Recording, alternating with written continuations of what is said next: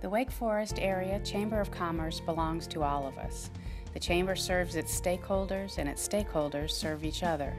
As we work together, we're making the connections that help build businesses, develop leaders, and enhance the quality of life in our unique town. Thank you for your investment. I'm Thomas Walters. I'm an Allstate agency owner. I've been in Wake Forest for 23 years.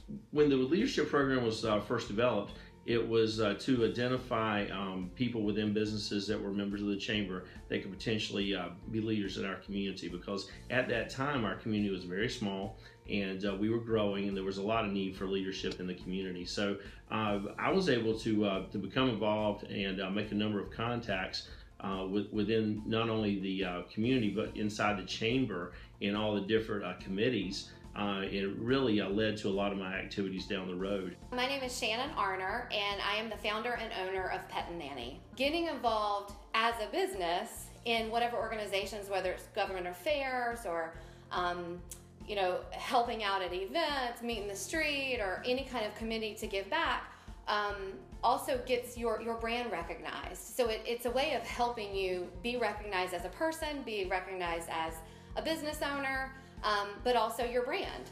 Um, and then it also fulfills that that ability to be able to give. Um, you can you get out of the chamber what you put into it. My name is Marco Quiros, and I am a graduate of Heritage High School. I will be attending the University of North Carolina at Chapel Hill in the fall. Through Youth Leadership Wake Forest, I was able to learn a lot more about my community, about downtown, and it was really beneficial to know those things because you know I live here, you live in a place, and you think you know it, but you really don't. Deborah Bordeaux, Stay at Home Senior Care. The Women Business Owners Alliance has been uh, a, a, a, camaraderie for me. You know, there's not too many opportunities for me to step out of my role as a president of the company and associate with other business owners. And um, the fact that they're female makes it a lot of fun as well and it's a chance for us to share um, ideas, what works, what doesn't work, share some of our um, stresses of the day in an environment that's away from the day-to-day work. I love that it's a morning meeting because it gets us before we get involved in the day-to-day. So. My name is Todd Goodrich, and I'm with Triangle Insurance Group. Developed a lot of friendships uh, because of the networking events, but also gained the trust and confidence of a lot of the business owners and individuals who attend those events.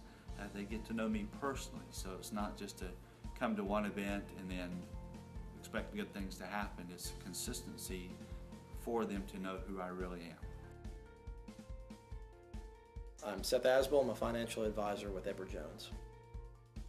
I think it can be really hard to be young and be in business, especially if you're in business for yourself or if you're kind of the tip of the spear uh, as part of a sales environment or anything else. And so I think it's been really helpful to be a part of a chamber that is so accepting and welcoming of young people and, and looking to engage with young people. I really have felt that as a young person in business, the chamber has been very open to my engagement and involvement and uh, the folks who have been there have been very encouraging to me as a business person. It's also been great to be a part of the young professionals group that we've got in the chamber to see other folks who are going through it at the same time and sharing some of the same challenges and the same opportunities. Uh, the young professionals group has really been a great place to be with other folks who are in the same place in their business as I am, and, and that's been really encouraging. My name is Tammy Robbins, and I am the marketing director at Carillon Assisted Living.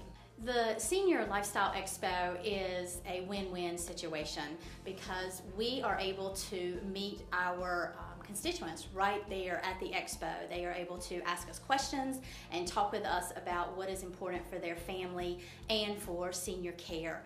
On top of that, we're able to partner with other businesses and we are able to meet with the business owners and talk about collaborating in the future. I really um, credit Wake Forest Chamber with helping me get started in the community. We um, have seen the return of investment each year. Last year we upgraded our membership um, because we were able to see that it was an obvious resource to tap into um, to make those connections, whether it's um, going and rubbing elbows with other businesses, it's uh, making connections in the community to figure out um, where uh, your, your business is most needed. Um, we get business from chamber members, and then those chamber members refer us to other people.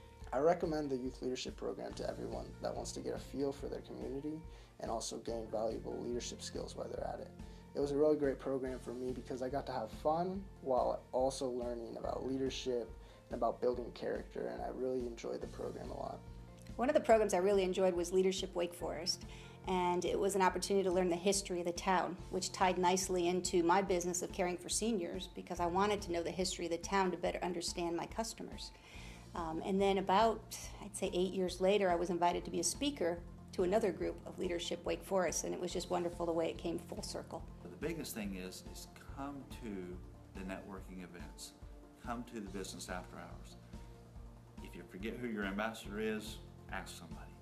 If you're a little bit shy, just cling on to somebody and say, hey, will you help introduce me to this person, this person, or this person? So always come with an agenda to meet at least one or two people.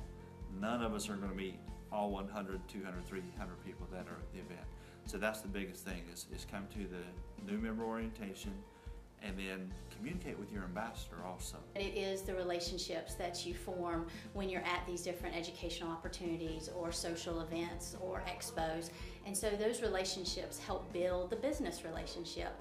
And I feel like I can pick up the phone or email someone and have different services for my residents here at Carillon, and they will benefit from all the Wake Forest businesses.